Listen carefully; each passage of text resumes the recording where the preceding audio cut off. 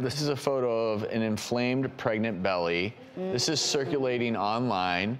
It obviously is a little bit alarming when you look at it. So, what is this? And can you really have this kind of reaction to pregnancy? Yep. So, what's going on here? So it's called PUPPP, and it is common in pregnancy.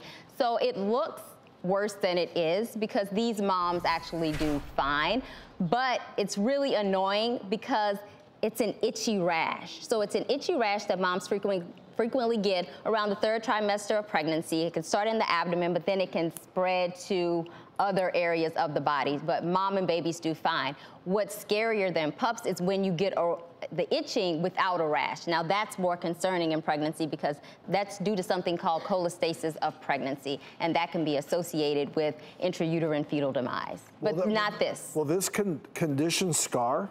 No, they usually do pretty good So this after is delivery. not stria. These aren't stretch marks. This is She has stretch marks, and she has PUPPP. She has So, what does PUPPP stand for? Pruritic urticarial papules in pregnancy. How often do you see this in pregnant women? It's pretty, it's pretty common in pregnant women. And so usually we don't have to do blood tests or anything to diagnose it. We just look at it because we see it all the time and we say, oh, that's what you have. And then we control the itching. We help you with that. But mom and babies will typically do fine. pops. Very cool. Yep. Well, and it leads to one other reality. We always talk about good prenatal care. A lot of things can happen during pregnancy. That's why you need a good OB like Dr. Nita.